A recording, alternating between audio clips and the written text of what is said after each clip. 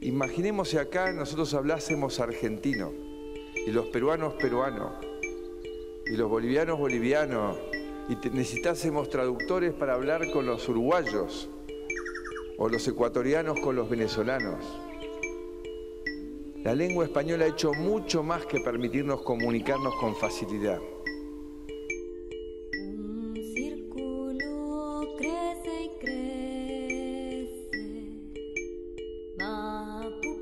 Mari Mari, inche Kim Wanglen Le Bien, eh, inche Lafkenche Mapuche inche. Eh, hola, mi nombre es Kim Lefio, eh, soy mapuche, hablante, hablo la lengua y para nosotros el Mapudungun es el hablar de la tierra, el hablar de la naturaleza y es el lenguaje que hemos tenido durante generación tras generación. Somos más de 500 millones de personas en todo el mundo. La lengua española, que es la segunda más hablada, nos unió.